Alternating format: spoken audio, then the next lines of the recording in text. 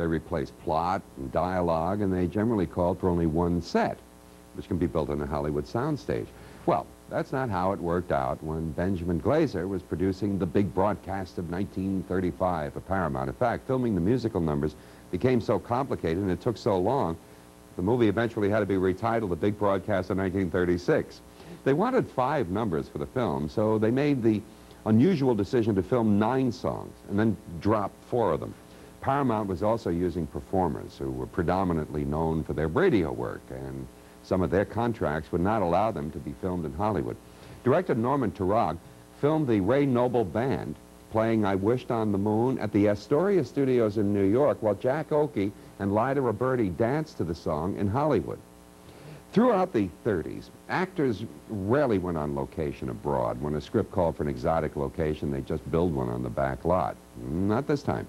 Some sequences were shot on the African coast, and some in Shanghai, Monte Carlo, even Cuba. One number was filmed in London, and two in Buenos Aires. Now, once the nine musical numbers were in the can, the director had to decide which ones to keep and which ones to cut out. Well, one number that was cut featured a singer named Celia Villa. Her father was the infamous Mexican outlaw Pancho Villa. Here's the big broadcast of 1936.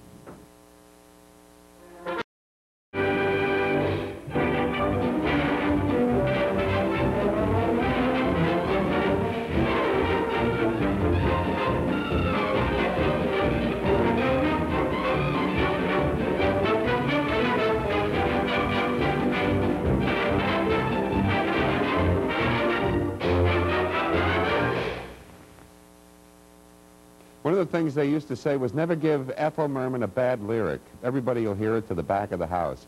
The song, It's the Animal in Me, performed by Ethel and 25 Elephants, was not originally filmed for the big broadcast. Norman Taurog had directed it for a movie called We're Not Dressing, but it was left at that time on the cutting room floor. Well, it turns out the number was good enough to be nominated for an Academy Award for choreographer LeRoy Prinz. Anyway, remember the scene in which Jack Oakie wore that suit of armor? I almost wish we could have watched what happened off camera when he tried to get out of that thing. It seems that the helmet was somehow wedged underneath the breastplate, and for a while it looked like this guy would be playing uh, one of those Knights of the Round Table for the rest of his life.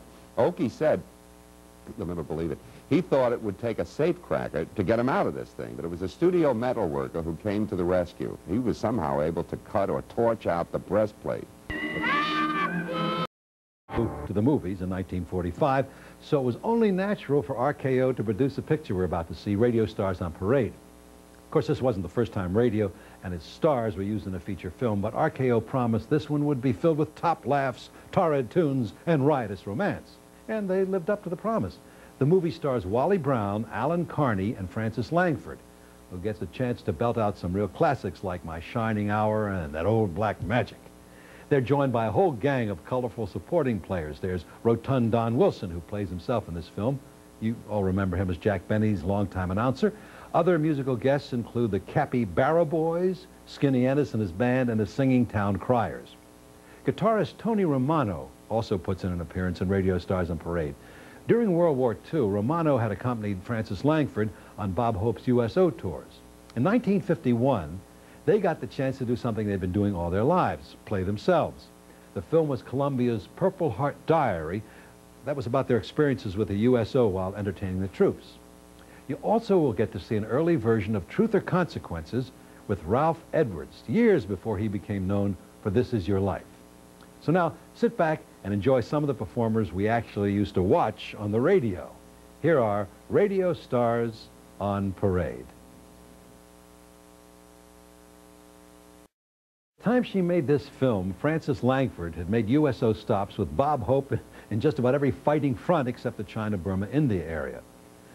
One time, while performing in the South Pacific, Frances Langford gave the performance of her life. When she finished her set, she turned to walk off stage, giving the love-starved fighting men a full view of her backless evening gown. Well, as you'd expect, the guys went absolutely nuts, causing Bob Hope to ad-lib his classic wisecrack, there goes the biggest ham in Hollywood. She knows how to get applause coming and going. By the way, Radio Stars on Parade would be one of the last films for the comedy team of Wally Brown and Alan Carney. Though they were never truly big stars, they did appear in no less than six Hollywood films.